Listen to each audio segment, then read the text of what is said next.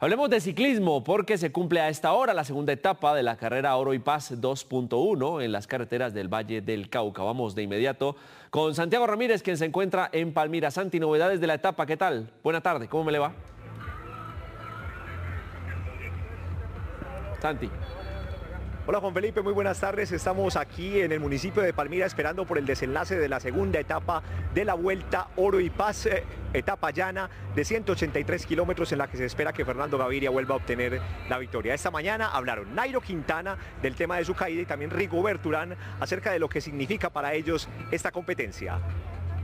Bueno, una caída que me ha permitido seguir, afortunadamente eh, estoy bien, he amanecido un poco mejor que ayer y nada, esperar que en estas etapas llanas me pueda recuperar para, para un buen momento en la montaña. Esa es la idea, la idea es tratar de pasar estas primeras etapas planas y esperar las últimas dos etapas de montaña que seguramente van a ser difíciles. Eh, acuerde que hay buen nivel acá, tenemos unos corredores de mucha calidad y obviamente es una carrera que como es la primera pues hay mucha expectativa y pues eh, muchos equipos que quieren ganar.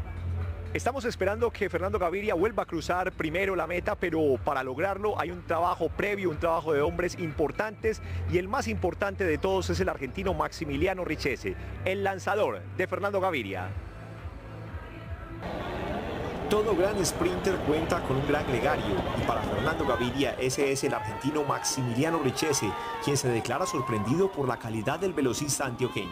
Más que nada lo que me sorprendió fue eso, su manera de correr, eh, él empezó a correr con nosotros y parecía que ya llevaba 10 años de profesionales. A veces él nos calmaba a nosotros cuando tendría que haber sido al revés, ¿no? así que más que nada eso. El que es considerado el mejor levantador de embalajes del mundo reconoce que no fue fácil para Gaviria ganarse un lugar que al principio nos costaba mucho, por el tema más que nada que Fernando era joven y bueno, que por ahí un poco ese lado también, ¿no? que ellos respetan un poco más a los corredores europeos. E incluso el tren de Gaviria tuvo que poner contacto físico para llegar a donde están. O sea, punta de codo, ¿no? Nos fuimos ganando el lugar y aparte de punta de codo después tenés que ganar la carrera. Así que nada, se nos fue dando todo y bueno, eh, ahí estamos.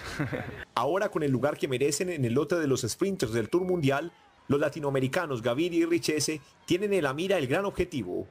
Nos ganamos el respeto y bueno, ahora vamos a intentar eh, de conseguir para ahí algo, algo soñado, ¿no? algo que, que para él es muy importante y para mí también. ¿no? Como compañero de él, eh, conseguir eh, la malla de líder en el Tour, que sería fantástico. Gracias al trabajo de gregarios como Maximiliano Richese, Fernando Gaviria está cerca de llegar a las 30 victorias parciales como profesional.